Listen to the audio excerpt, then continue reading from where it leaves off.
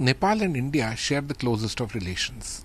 You know, I like this sort of expression that we are linked by gods, by nature, and so on.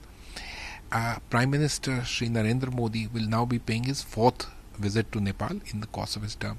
This itself is such a significant thing and is a testimony to the close relations between India and Nepal. In fact, in the last four or five months since the new government has taken over in Nepal, we've had the Prime Minister of Nepal visit India. Prime Minister Modi pay a huge state visit to Nepal in May, and now he's coming in.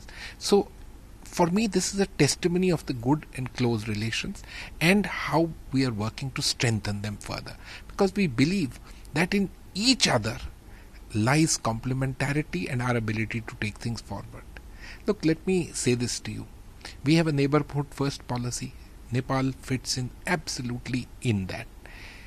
Sabka Saath, Sabka Vikas is our motto. In Nepal, the motto of the new government is Samrid Nepal, Khushi Nepali, prosperous Nepal, happy Nepal. I think these dovetail very well, and it's very good that the Prime Minister is coming again and we have this high level sets of interaction between the two.